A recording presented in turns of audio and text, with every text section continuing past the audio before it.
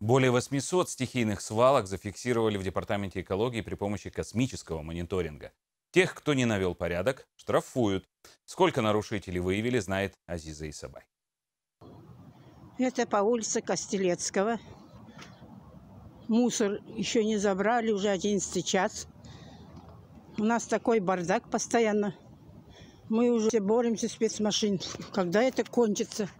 Подобные видео присылают в редакцию Ирбиса. Павлодарцев призывают соблюдать чистоту, но при этом на некоторых участках нет даже мусорных баков. В итоге образуются свалки, заявляют люди. Между тем, в Департаменте экологии регулярно ведут космический мониторинг. В этом году только в Павлодарском районе спутники зафиксировали 277 стихийных мест, в Аксу – 167. В связи с этим с начала года мы всем акимам городов и районов выдали предписание о необходимости ликвидации данных мест размещения отходов. Однако не все акиматы проводят должную работу.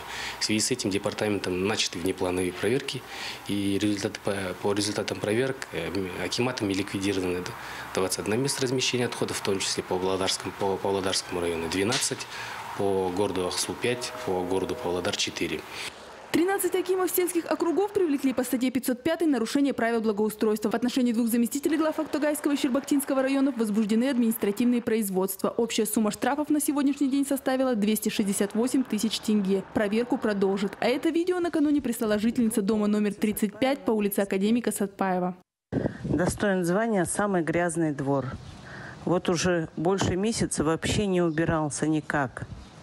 КСК бездействует. В 200 метрах от городского акимата, в 500 метрах от областного.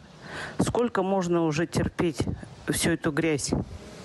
Сегодня после нашего вмешательства здесь навели порядок. Напомню, вывозить старую мебель или сантехнику люди должны сами. Также правилами благоустройства запрещается сжигать отходы, в том числе и листву. Все необходимо вывозить на полигон. Азиза Исабай, Валерий Павлов, телекомпания «Ирбис».